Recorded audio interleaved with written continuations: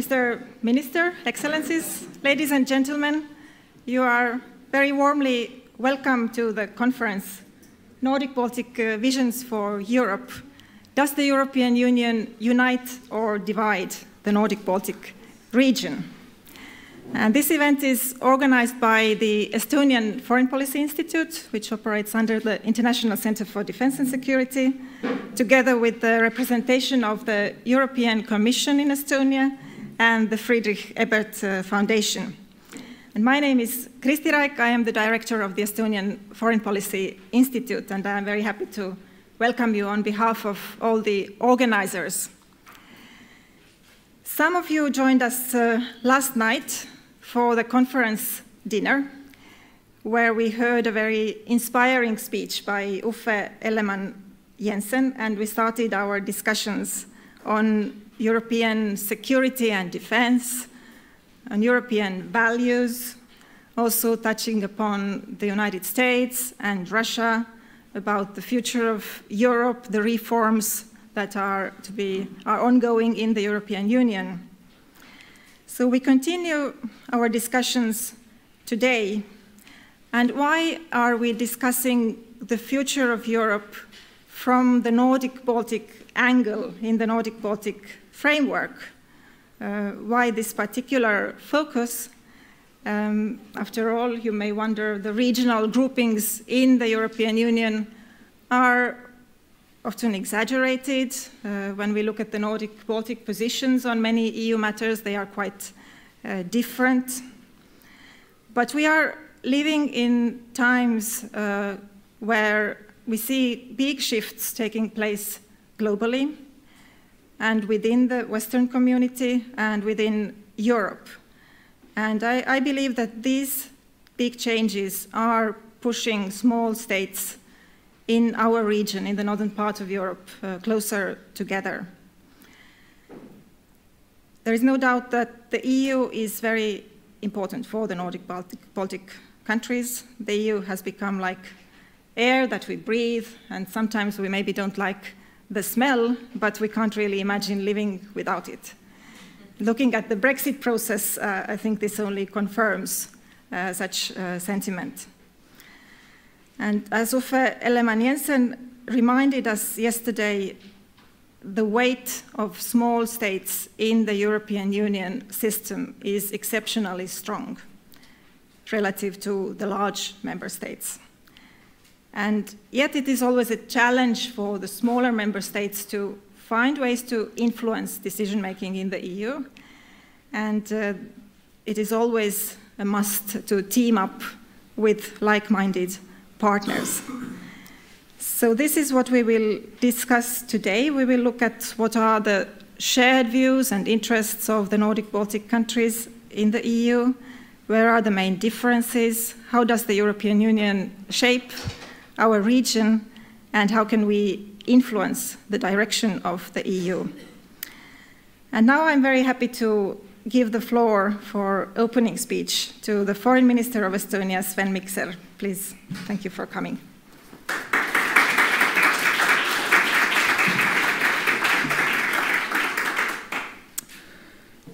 Well, a very good morning, ladies and gentlemen. It's a great pleasure uh, for me to, to be able to welcome you here in Tallinn, particularly those who have come from outside our beautiful capital city. Uh, I was asked by the organizers to be here 10 minutes before the, the, the, the opening of the um, session of the conference, and, and having climbed those stairs, I can understand why, so as to, to uh, give me some time to catch my breath. Well, uh, the uh, conference today is appropriately titled the Nordic Baltic Visions of, uh, for, for, Europe. I believe that we all uh, have our visions of Europe, we also have our visions for Europe. Um, but we should probably also be reminded of the um, old saying that a vision without a plan is a is hallucination. So I think that it's it's very appropriate to also to to uh, think and, and, and, and, plan and plot as to uh, how we can uh, actually uh, move towards uh, the realization of, of, of, of that vision or the parts of that vision that we share among the Nordic and Baltic uh, countries. the, the second half of the title, um, how, the, uh, how the European Union uh, unites or divides our region, I think we should perhaps uh, uh reverse and ask how, how we can shape Europe in the way that it would accord our visions and our plans. Um, I believe that, that uh, the, the Nordic uh, Baltic uh, region or the regional countries in the Nordic Baltic, Baltic uh, area uh, share um, a lot when it comes to how we, how we see the future of uh, Europe. Obviously, the, the regional cooperation has many different phases or facets. there's the economic dimension to that cooperation. there are policy areas where, where we are bound to work together uh, because of the regional bonds or geographical proximity. Uh, uh, there are um, political uh, groupings that bring us together. but, um, but I think that above all, what we share is an understanding that we need to work very hard in, in these days, at this time, uh, to uh, see that this uh, rules based international order uh, that we all have benefited from so much uh, does not crumble under this, uh, I would say, very considerable stress. Uh, the uh, the uh, rules based order, and obviously the rules uh, derived from these common values and, and belief in li liberal democracy that have, I think, been the, the um, founding blocks of, of, of, of, the Western world uh, for, for decades and even centuries. Uh, these rules are under, uh, under, under threat or under, under serious challenge fr uh, both uh, from without and from within. Uh, we see players, important and powerful players in, in global geopolitics who would like to restructure or rebuild the the, the international order, uh, who would like to see the, um, the, the, these, these, these rules give, uh, give way to the, uh, to the uh, right of the, of the might. Uh, we also, within our own societies, the um, illiberal voices or radical populist voices uh, gaining strength. And at this time, I think that in order to preserve both the the Nordic way of living, as well we sometimes uh, romantically call it, and to preserve the uh, rules-based uh, international order that also uh, gives, um, well, as as uh, Kristi said, stronger voice to the to the small countries uh, within the European Union and on the international scene, um, more, more more power. So we, uh, I think, uh, have a lot that we share. Perhaps the, um, there was a, a, somewhat clearer idea as to what to the regional cooperation um, in the political sense should look like back in the 1990s when, uh, when the Baltic countries were breaking free from the uh, Soviet occupation and, and were aspiring to join the rejoin the international community. And back then, I think that there was also a, a shared uh, sense of purpose among the Nordic countries in order to, to help us to bring about that change. Uh, I think that since then, with our uh, struggle to, to, to, gain full membership in, uh, in the European Union and in, in, in, NATO, uh, we, to a degree, perhaps lost the sense of purpose in, in, in, in the uh, regional cooperation within our closer, closer geographical neighborhood. Um, but I think that, that uh, the way that uh, the uh, trilateral Baltic cooperation and, and, and the Nordic cooperation have come closer and closer and, and in very many areas have uh, basically merged to become one Nordic Baltic uh, uh, cooperation.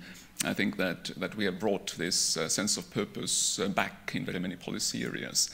And with the, well, tensions and challenges uh, looming in the, in, the, in the transatlantic cooperation uh, with uh, the balance of power within the European Union changing with the uh, with the Brexit process. I think that that uh, this um, regional grouping of the Nordic Baltic countries within the EU uh, has has actually acquired uh, much more uh, a much stronger meaning and and there is much stronger need for for a strong Nordic Baltic voice.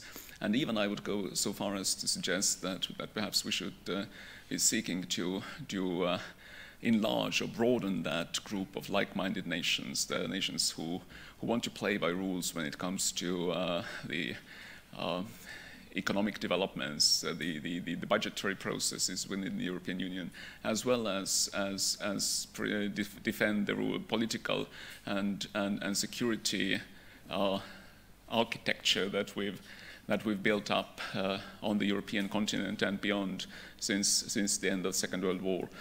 And I think there are other like-minded uh, nations, and, and th there are those nations who, who are equally or, or similarly uh, concerned uh, by, by those developments. Uh, countries like Ireland, like Netherlands, and, and, and, and, and others. And um, I think that it's, it's entirely appropriate that we also uh, seek to, as a group, to, to cooperate more closely uh, with those countries who share those concerns and also uh, share those, those visions and perspectives that we have in the Nordic Baltic uh, region. Uh, I was told that, that recently uh, one Estonian uh, polling agency conducted a, a, a, survey whereby they asked people as to how they see the perspectives, or what, what, you think of the, of the cooperation of the Baltic countries within, within Nordic countries? And, and to no surprise at all to me, uh, the, the support for Nordic Baltic cooperation was in, in, the 90, in, in the 90s. We've always uh, enjoyed very strong support for the European Union and Estonian, Estonian membership in the, in the European Union. Uh, but that support is uh, in the well, in high 60s, low 70s uh, normally, and the same goes for for for the, for the uh, security cooperation in NATO. But I think that that uh, or the the the uh, uh, belief. Uh, that there is very strong belief in, in, in, in our society among the people in Estonia that that uh, the, our, our closest and, and, and, and dearest partners with whom we share the most when it comes to both interests and values are in our our uh, Nordic Baltic uh, neighborhood, and I think this is a very good platform to redefine the the, the, the common purpose and and and make sure that those uh, uh visions become become reality, even uh, while we see uh, well quite formidable challenges on on the horizon. I wish you a very successful uh, conference and, and, and substantial discussions and exchanges of ideas on, uh, in, in, regarding all different policy, policy areas, because the European Union obviously is a very complex organism. Thank you very much for, for being here.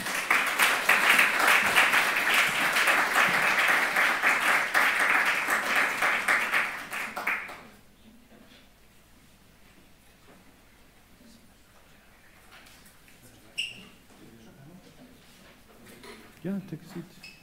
Where do we, maybe, maybe if you could sit on the yeah. side, perhaps the ladies more in the middle. Where do you want me? Do we have enough? Yeah, please.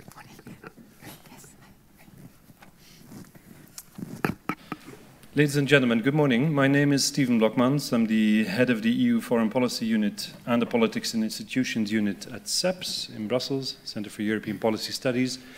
Um, thank you very much to, to Kristi, to the, to the Institute for inviting me to, um, to this conference. It is my pleasure and privilege to try and moderate uh, four brilliant minds um, on the topic um, of uh, Nordic Baltic cooperation or challenges uh, in the face of um, the future of Europe debate. Um, and uh, before I introduce the, uh, the panelists, let me, let me briefly perhaps sketch out the, uh, the main topics which could frame uh, this debate. I think um, the Brexit referendum in June 2016 has kick-started a debate, um, especially at, Brat at, the Bratislava summit between uh, the 27, which is immediately after the summer, about the future of Europe. And the imagery back then in Bratislava was not very conducive to, uh, to a good debate, it seems, with a boat uh, that, due to low water levels, um, uh, had to actually return quite quickly to, uh, to Bratislava. Um, it nevertheless slowly but surely developed and matured in, uh, in a debate against uh, a backdrop of existential crisis of the future of the EU itself. Remember back then, um, there was a fear of major populist gain, um, anti-EU and certainly Eurosceptic uh, parties coming to the fore, and especially in France. And whereas with hindsight, we can see that um, this existential crisis has been averted, we cannot say that the populist tide has been turned. Um, of course, in reaction to that, I think the more pro-EU voices, especially that of um, President Macron in his Sorbonne speech, have been on the offensive on the EU reform uh, debate. And um, Macron himself, of course, has not minced his words about what, to his mind, a future of Europe minus the UK should look like. And he has proposed, uh, of course, bold steps to strengthen the Eurozone. He has even floated ideas later on shared with, um, uh, with Germany in the Meseberg Declaration about introducing more qualified majority voting in the Council, especially as far as CFSP, Common Foreign and Security Policy, is concerned. Um, and um, he has used, you know, the, the phrase of a multi-speed Europe as um, uh, quite, quite liberally, uh, one, could, uh, one could say. Um, I think especially the, the Meseberg Declaration underpins, even if the reaction from Berlin came quite late as a result of difficult coalition talks, of course, I think the Meseberg Declaration nevertheless um, almost codifies the new Franco-German axis or engine of the European integration process. Is big member state politics back in Europe? And is this to the detriment ultimately of the smaller member states? And um, coupled, I think, with the Brexit story, where you have a, a vocal uh, proponent of liberal uh, economic philosophy exiting the European Union, one that often acted as a cheerleader of similarly minded smaller uh, member states. Um, one wonders again what, what impact that has on those uh, smaller member states. And finally, ahead of the end of this legislature at EU level, we get discussions on the next multi-annual financial framework, the MFF, uh, which projects a massive increase, 30% or so, in the area of EU external action, but at the same time see, or propose at least, a decrease of about 5% of the common agricultural policy and 7% of the cohesion funding of the European Union, two areas which traditionally have been um, to the benefit of smaller member states, especially also in this region. So I think this panoply of issues um, provides both the, uh, the importance to, to discuss EU reform from a Nordic-Baltic uh, perspective, um, with the idea in mind whether there's indeed considering the differences which have traditionally existed between some of the Nordic and Baltic states, whether there's in fact more room for cooperation, whether there's a natural force for cooperation. I think this is one of the guiding questions for this panel, if not uh, this conference. We will steer clear mostly of CFSP, knowing, of course, that this is a topic for discussion uh, later on. Now, with us to discuss all of these issues, um, we have uh, Katarina Engberg, uh, who is a senior advisor at SIEPS, the Swedish Institute for European um, Policy Studies. Um, but in, in a previous capacity, um, director at uh, the Prime Minister's office, uh, EU Coordination Secretariat in particular, and also posted to Brussels at the Perm Rep um, uh, to the EU, but also uh, uh, at NATO. Um, to my immediate right here, Matti Maasikas, of course known well, uh, well known in this country as Undersecretary um, for European Affairs at the MFA, and also as um, well, Mr. Brexit uh, for Estonia, the coordinator on, um, on Brexit issues uh, for, uh, for the government. Um, to his right, Ilze Rūse. Yes. Good. Ambassador extra, Extraordinary and Plenipotentiary uh, of the Republic of Latvia to not just the Netherlands as the program states, but in fact all of the Benelux countries, based in The Hague. Um, and on the basis of your academic interest in your PhD, which dealt with the question why neighbors cooperate, a PhD you, you defended in Salzburg, of course, uh, keeping a keen eye as to what the Benelux might be up to, if anything at all. Um, but we'll be keen to hear that from you. And uh, last but certainly not least, Professor Marlene Wind, um, director at the Center for European Politics at the University of Copenhagen, and also uh, professor at the Center of Excellence for, uh, for Research on International Courts, iCourts. So welcome to uh, all of you. We've agreed amongst ourselves that introductory remarks will be restricted to about 10 minutes. Um, I would like to, after which there will be plenty of room for, for exchange and debate with the audience. Uh, why don't we start with you, the Swedish uh, perspective. Thank you. I'll take your seat. Thank you so much, Steven, for that introduction, and also to the uh, organizers of the conference for having me here.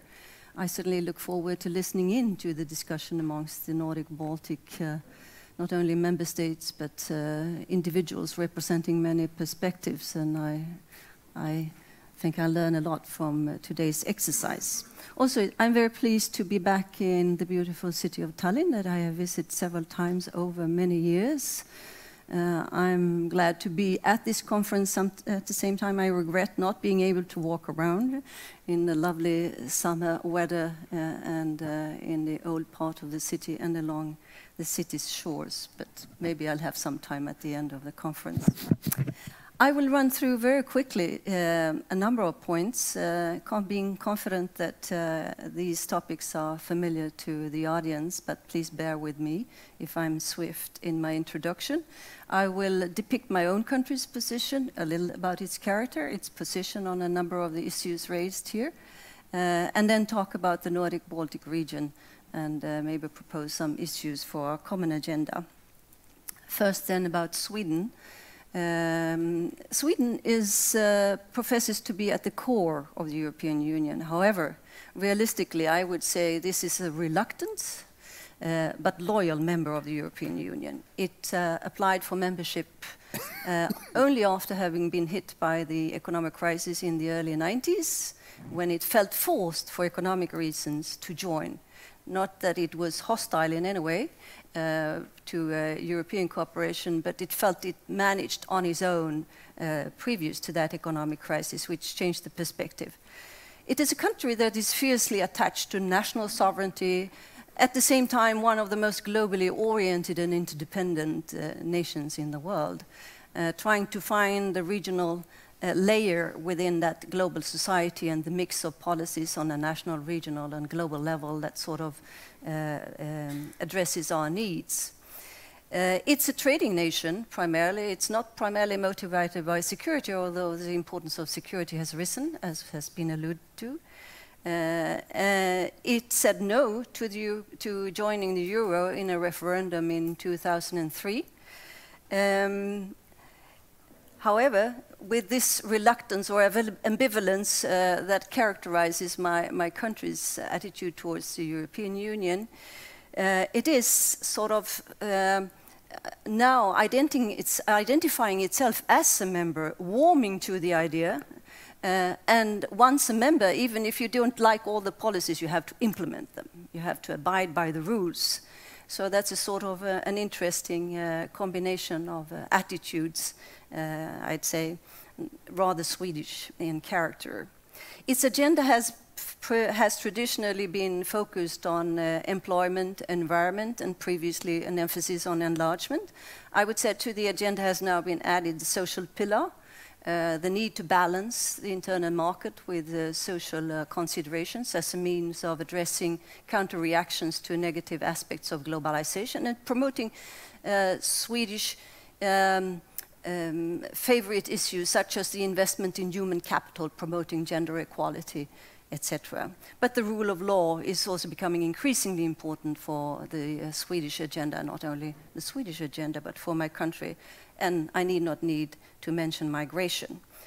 Um, after Brexit and also the accession of Trump to the presidency of the United States, you have noticed uh, a considerable jump in EU positive attitudes in my country, very much along the same lines as for most of the member states of the European Union. So that's where we situate ourselves currently. We have warmed to the idea gradually.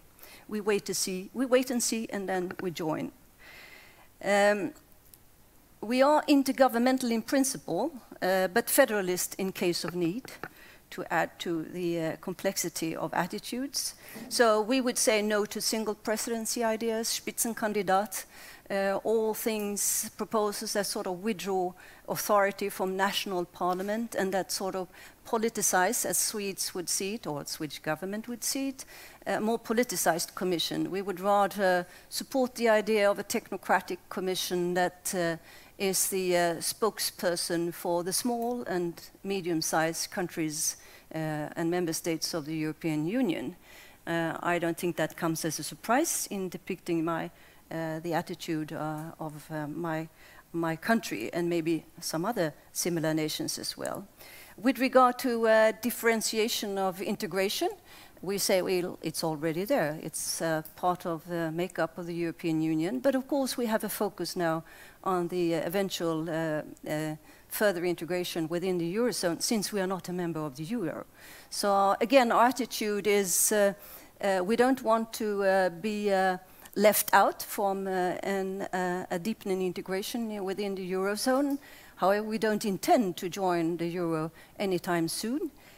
So how do we square, uh, how do we find a room where we will influence uh, decision making in eventual deepening integration with the, within the eurozone? Hence, our joining with uh, the Nordic Baltic countries, uh, Ireland and the Netherlands uh, in the joint letter, letter of our finance ministers. At the same time as we are anxious not to be left out, we wish the eurozone well we depend on it. Uh, our economy wouldn't flourish without it. Uh, so, in principle, we support the necessary measures for overcoming the lack in terms of architecture from which the eurozone suffered in the later in the uh, last economic crisis. We see the need for further integration. We would back uh, probably the banking union. There is now um, an uh, investigation going on within the Swedish government offices. Uh, and we are interested, of course, in in uh, an internal market for uh, for the capital, for flows of capital as well, improving the flow uh, of capital. So a capital, um, um, so that these are sort of pragmatic aspects of the deepening of the eurozone cooperation that we would probably support from the beginning. In terms of institutional matters further, we are reluctant to the proposals for passerelles. Uh, for a passage from consensus to uh, qualified majority voting, and we will listen carefully to what President Juncker will say in his uh, State of the Union talk next week, I think. Uh, however, uh, we are increasingly um, restless with regard to member states that are blocking decision making on issues that we find being of importance, such as, for example, the backing of the UN's uh, migration compact, um, or the uh, very vague statements or lack of statements made by the European Union on, for example, the US recognition of Jerusalem as the capital of Israel. So on a number of issues, we are increasingly restless with the tendency of some member states of blocking decision making, particularly in, in terms of foreign policy. I said we are intergovernmental, in, in fiercely intergovernmental in, in, in our attitude, but federal in case of need. And I will not expand much on this matter, but let me just point to migration policies, where my country represents a very ambitious agenda within the U European Union, uh, with quotas, distribution of quotas of uh, migrants, and, and, in particular of refugees uh, coming to uh, the European Union. So this is a portrait of a nation which maybe mm, have some characteristics that are specific for my country, but I think this is also a portrait of many other nation states or member states of the European Union uh, who try to orient themselves in a changing landscape. I think it's a good example of what the, the uh, British historian political uh, scientist Milward called that uh, the European Union uh, or the cooperation within the uh, European community and union and the uh, federal elements uh, of that cooperation is the rescue of the nation states. Under pressure, convinced that the federal element is necessary, nations will, after having tested the water, eventually join uh, in uh, recognizing the need for federal elements. The new EU Nordic Baltic region, then. Well, we share a common history, geography, there's a lot of affinity and we are bound together, I think, by an increasing concern for in, with regards to security matters, as was referred to by the foreign minister, for example. We share uh, an adherence to what I think we would like to see a modernist agenda when it comes to openness, information technology, etc. We are so-called fiscally conservative, although I would say that uh, it's important not to lump together different national perspectives. My country is uh, uh, will support, of course, one of the main messages of the common um, letter, uh, which is that structural reform needs to be undertaken uh, when we talk about solidarity uh, between uh, the member states of the European Union. And uh, ideally, first structural reform before implementing more larger agendas when it comes to solidarity. Uh, but we have, of course, differences in terms of austerity policy. My nation, I wouldn't say we are in adherence to austerity policies. And we have naturally differences when it comes to the, uh, to the budget. We are net contributors. Uh, some of the members of the Nordic Baltic region are, are net are receivers from the, from the budget. And uh, with the uh, Brexit, Brexit and the exit of the Britain, Great Britain, at least uh, let's hope not, but uh, we have to count on this. Uh, a larger burden will fall on the net contributors. Our finance minister has calculated that the, the multi-annual framework, it might add up to 1.5 billion euros a year in addition for Sweden. So of course we will guard very carefully against uh, the way how this budget is, uh, is distributed. I would say that uh, while in general with regard to our re region, uh, when we go on defining our common interests, I think it's important to try uh, to reach out to other parts of Europe. I think it would be, while identifying a common agenda, we have to guard against becoming some sort of northern flank, northern front. We shall try always to reach out to other parts of Europe, to southern Europe, to central and eastern European countries uh, and try to find, as we define our own interest, interest also try to define the common interests.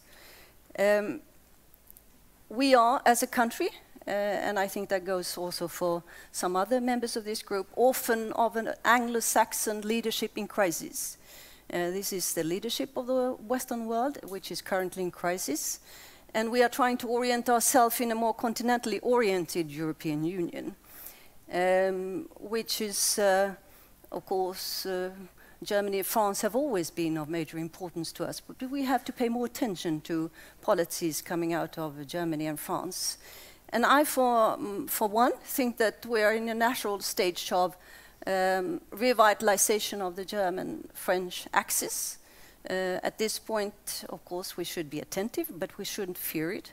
I think it's important in order to kickstart the European Union after all the existential issues that have risen lately and have been defined previously. The question is, is this tr being translated eventually into common positions that include uh, all of the member states, and that's where we have to be active.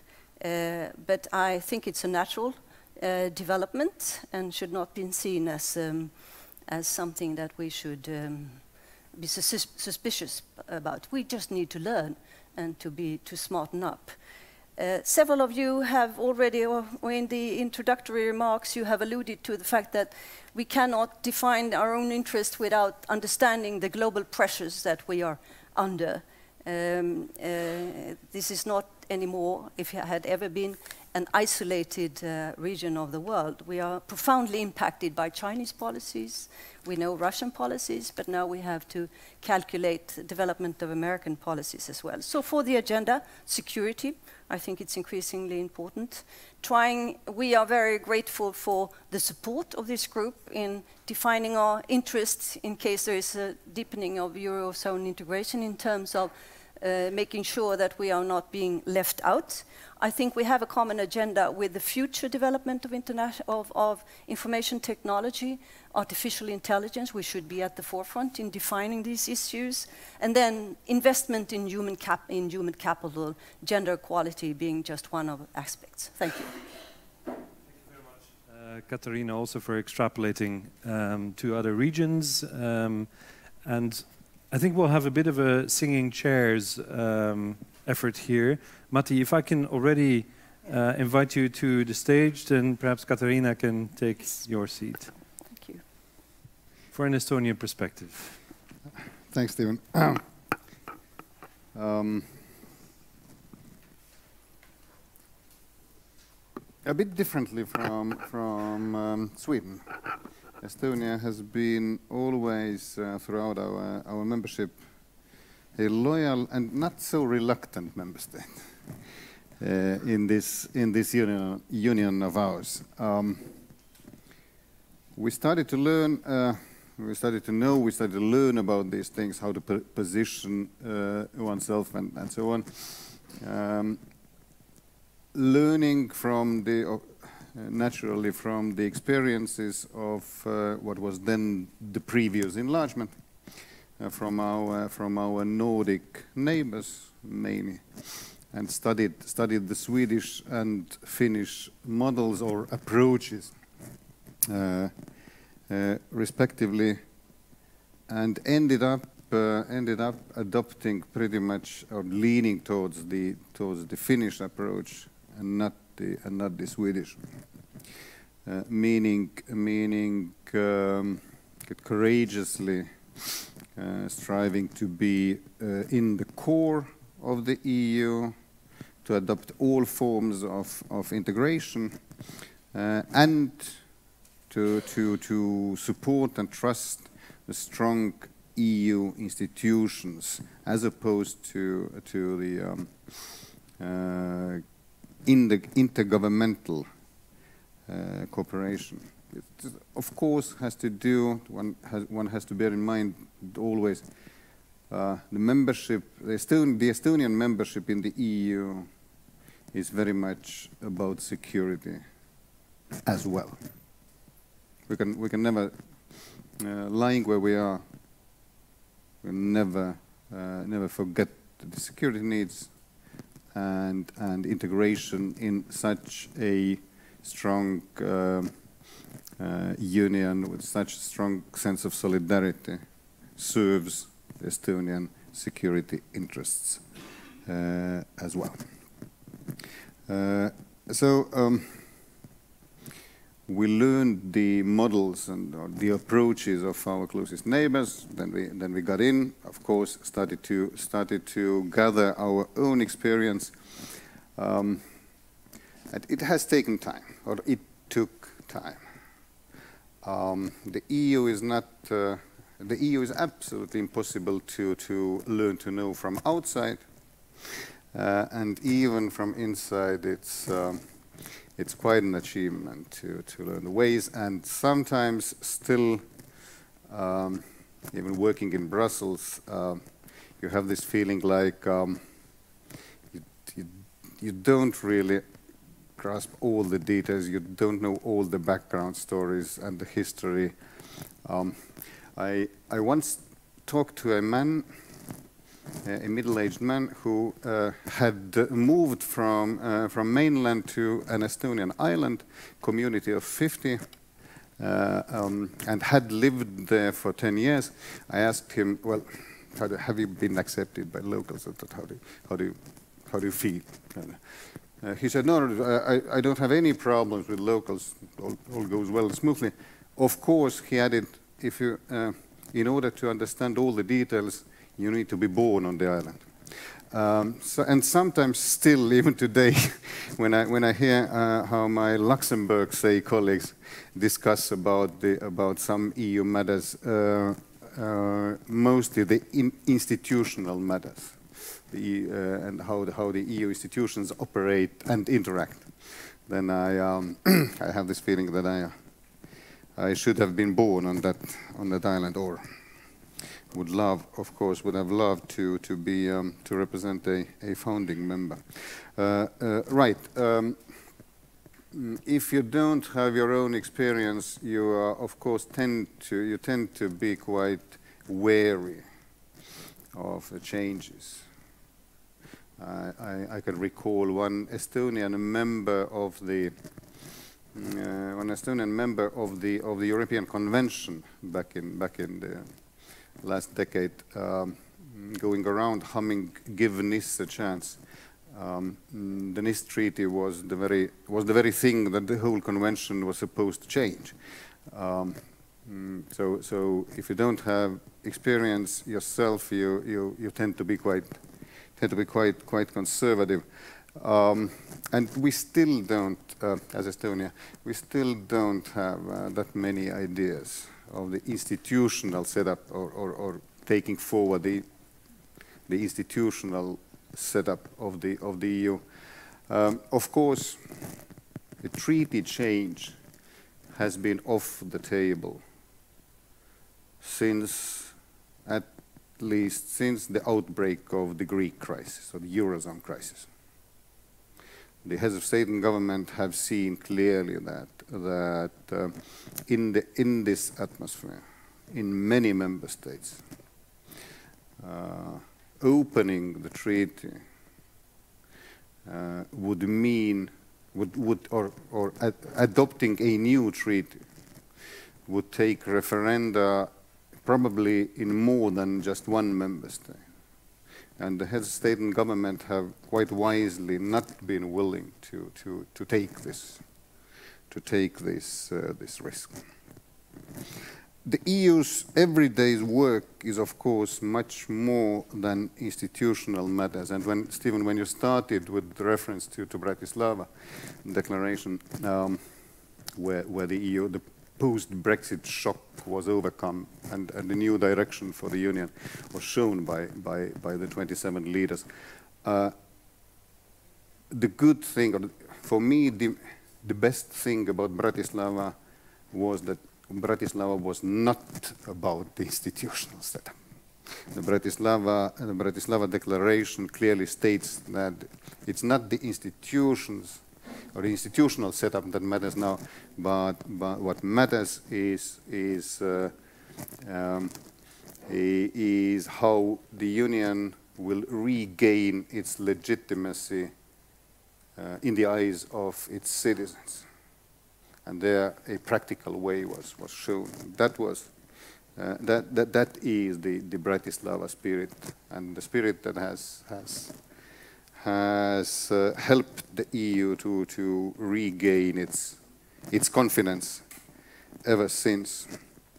Uh, so in this everyday work of the EU, um, there are no uh, there are no standing alliances, there are no standing blocks, um, because the variety of issues it's so uh, it's so broad there are no two member states agreeing all the time or, or voting together uh, all the time. And this, uh, it's uh, uh for me, for me maybe the most wonderful thing about about operating in the in the EU.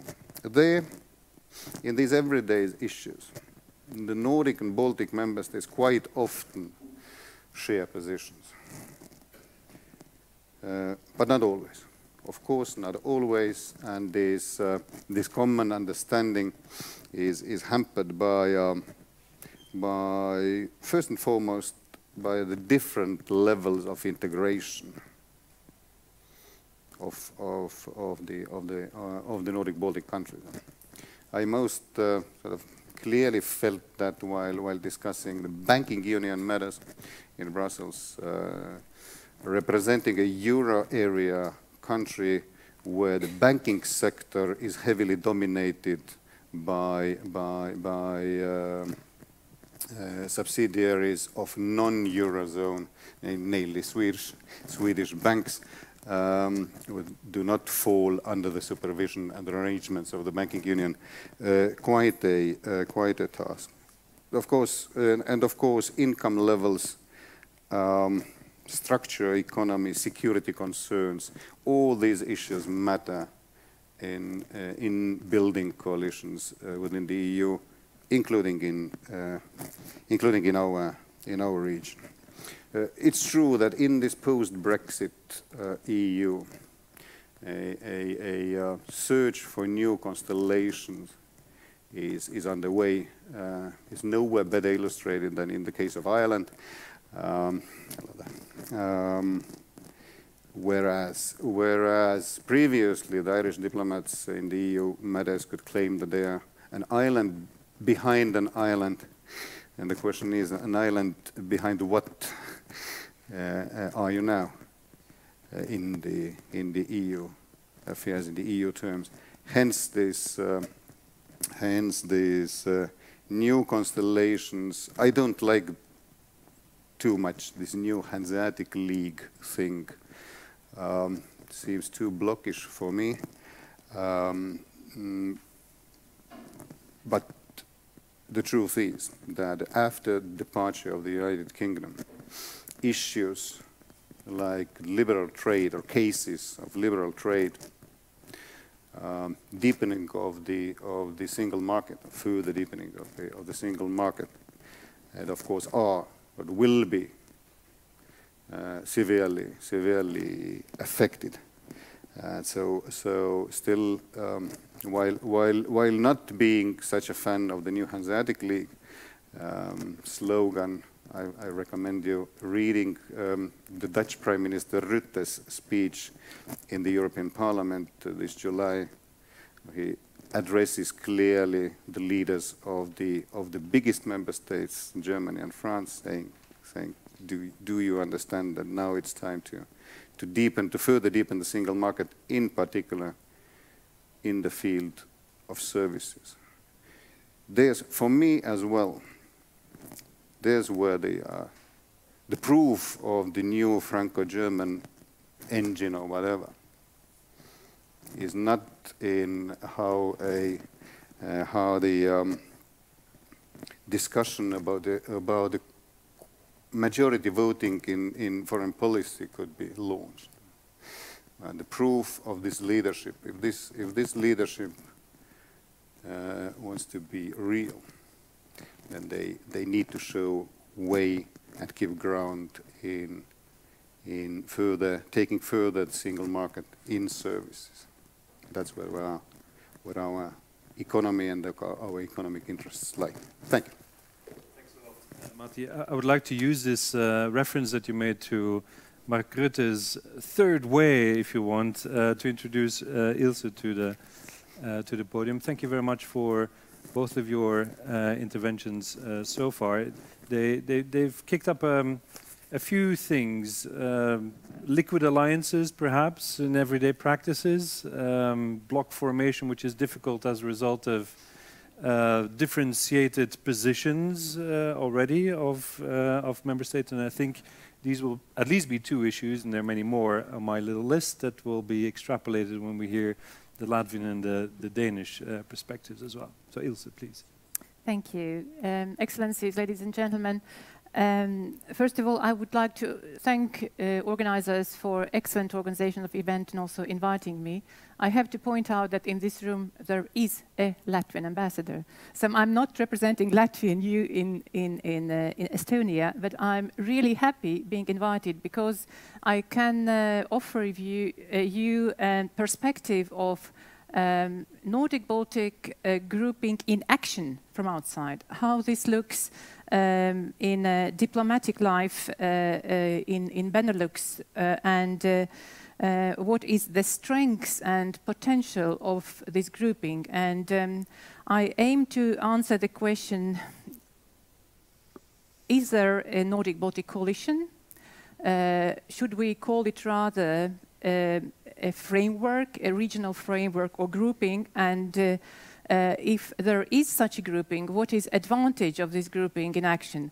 And then uh, I will further uh, also address the uh, aspect of um, there is a, a, a newly branded um, acronym Nordic Baltic Plus. What is this plus and, and why Nordic Baltic grouping has become attractive?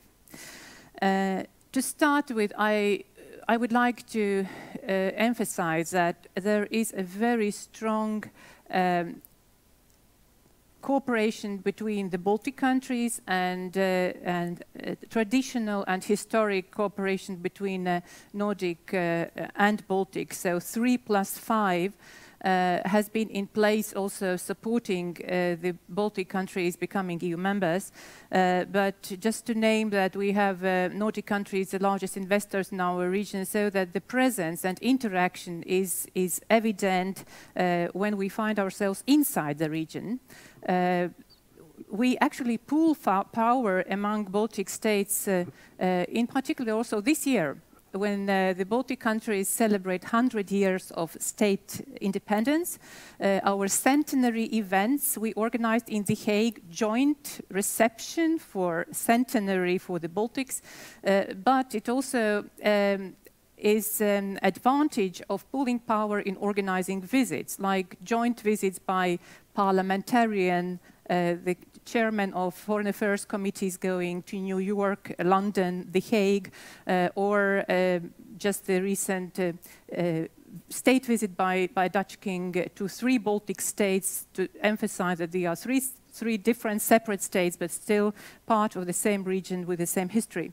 So to start with, there is a strong tradition. So we are not building this Nordic-Baltic cooperation in EU as an artificial element, but it is just an added value to existing uh, cooperation that we already have, uh, also with the support of um, Nordic Council offices and their agenda. So just to name it, that there is um, a framework within which this Nordic-Baltic cooperation is growing. Uh, now I would like to, uh, to address the aspects of uh, how we cooperate in Europe. And here I would like to set scene uh, with three um, actually principles. Uh, the one principle is that there is increasing tendency of intergovernmental mode of decision making. Um, I would make a distinction that it is not like approach, but rather that the decisions, the very important decisions, are, um, are actually to some extent initiated by member states. Uh, just to remember the economic crisis and also activity of member states, large member states in dealing with this crisis, a consequence of crisis, uh, also deal uh, with Turkey on migration was actually done in the scope of European Council. So this intergovernmental mode uh, explains also that the Lisbon Treaty has um, uh, defined European Council as a separate single institution. So the role of European Council is, is increasing and this is already calling for action from the member states um, and also the same applies to uh, uh Foreign Affairs Council or other councils that actually deal with these um, important issues or even crisis situations in Europe. I would not undermine the role of the Commission, just to, to say that there is an intergovernmentalism uh, increasing also apart uh, from, from the, the, the um, the way how the, uh, um, how the uh, decision making and, and policy making is initiated just to say like leaders agenda. So the agenda by european council leaders in formulating future uh, targets. The second aspect that i want to highlight here which gives also for nordic baltic group uh, a scene where to play is increasing role of informal agreement. It is like an iceberg. When the decision comes to the council, the pre-agreement is already made in corridors or in uh, breakfast meetings. E even there's not a joke, but a, a, kind of a fact to mention that if uh, uh, you want to really decide a sensitive issue uh, uh, in the EU, just don't plan it as agenda item, but plan it as a lunch item. So the inform in informal way of decision is very, very important. And uh, this is where the Nordic-Baltic cooperation comes in, because we have these uh, breakfast meetings, we have lunch meetings, Nordic-Baltic uh, ministers meeting before Foreign Affairs Council, prime ministers meeting between European Council meetings. And this is something that is in place since the membership of uh, three Baltic countries, 2004. And finally, the third aspect that is the scene where the Nordic-Baltic cooperation actually is placed in, in Europe is the uh, already mentioned the challenge of distribution of power after Brexit. So this is something that is actually we have to face that by uh, if Britain leaves, then 12% of voting power leaves, and many cases, uh, in particular in security uh, issues, also on internal market, uh, this region has very much been like following the British lead. So um, now I come to actually addressing this issue on the one side, why do Nordic Baltic countries cooperate? And what is the potential of leadership? Because there is also two kinds of, or even three kinds of coalition. The one is issue-based coalition on the particular topic.